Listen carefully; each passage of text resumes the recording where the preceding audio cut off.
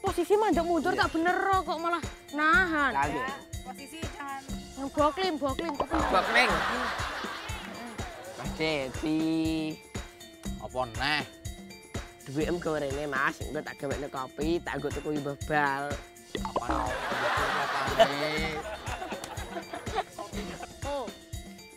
kalah oh. atau menang, kita harus bangga dengan Indonesia.